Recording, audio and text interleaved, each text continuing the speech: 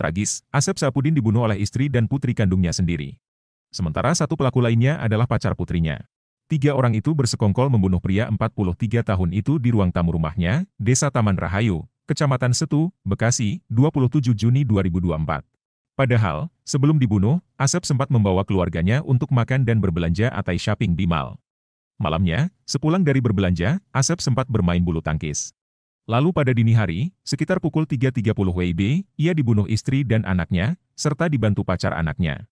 Para pelaku pembunuhan itu adalah Juhairah, 45 tahun, yang merupakan istri Asep, dan anaknya, Sylvia Nur Alfiani, 22 tahun. Dan pacar Sylvia, yaitu Hagistiko Pramada, 22 tahun. Parahnya lagi, usai Asep dibunuh, Sylvia mengambil ponsel ayahnya itu dan menggunakannya untuk mengajukan pinjaman uang di aplikasi pinjol. Dari dua aplikasi pinjol, Sylvia dan pacarnya mendapatkan pinjaman sebesar 56 juta rupiah. Mereka bersekongkol membunuh Asep karena motif yang berbeda. Juhaira mengaku sakit hati karena hanya diberi nafkah 100 ribu rupiah per minggu. Sedangkan Sylvia dan Hagisto sakit hati karena hubungan asmara mereka tidak direstui Asep. Berdasarkan hasil penyelidikan polisi, ketiga orang itu semula hendak membunuh Asep dengan racun. Namun, dua kali mencoba selalu gagal.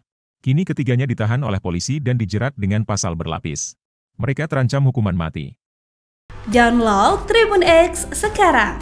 Menghadirkan lokal menjadi Indonesia.